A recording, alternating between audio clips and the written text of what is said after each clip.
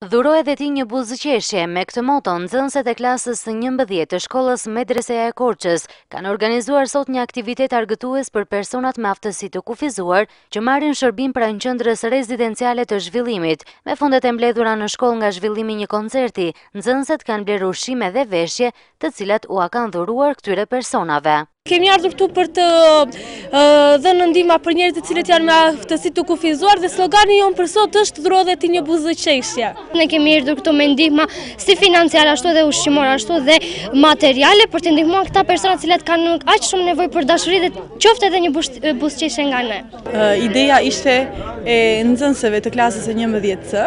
Kemi organizuar një program në shkollë me bileta, me kontributet e mbledhura, janë blerë ushqime, përveç këtyre nxënësit kanë sjellë dhe nga shpitë e tyre ushqime, gjithashtu dhe gatime. Gatimet neve do t'i konsumojmë bashkë me personat me aftësi të kufizuar. Gjithashtu kemi përgatitur një mini program të vogël me këngë, dhe me poezi, që në mënyrë që ato të kalojnë një pasdite të këndshme, bashkërisht do kalojmë disa orë bashkë. Pranë kësaj qendre marrin shërbim 35 persona rezidentë, të cilët së bashku me stafin përkujdesës, kanë kaluar një pasdite ndryshe argëtuese dhe me shumë dashuri të falur nga vajzat e medresesë.